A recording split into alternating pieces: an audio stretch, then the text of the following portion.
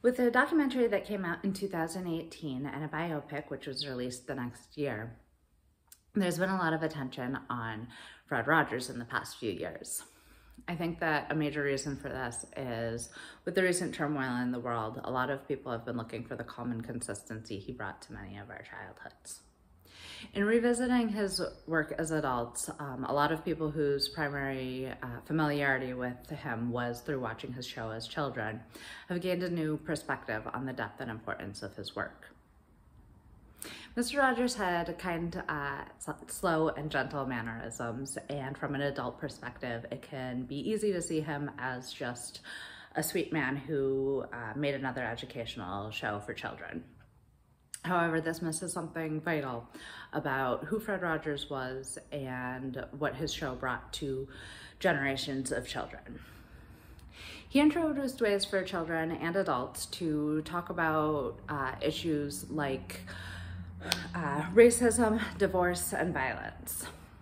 Using the philosophy of his mentor, Margaret McFarland, um, who believed that anything mentionable is manageable, Fred Rogers showed children ways to talk about their emotions, both about these serious subjects and in their everyday lives. One famous scene from his show uh, has Mr. Rogers inviting his neighbor, Officer Clemmons, to soak his feet with him in a kiddie pool on a hot summer day.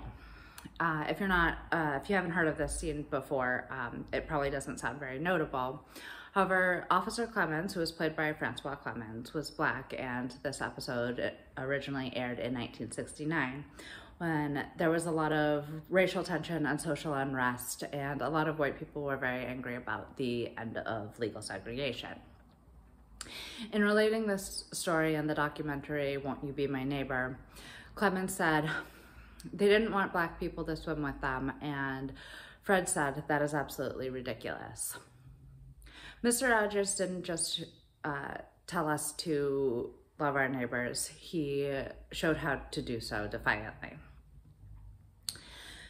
Um, while his work on social issues, uh, the importance of his work on social issues uh, cannot be overstated, I think that the reason why Mr. Rogers resonates so deeply with so many can be summed up by one of his most famous lines I like you just the way you are.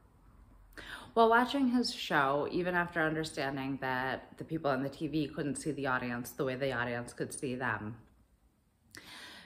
children really felt like he meant it when he said that each of them was special.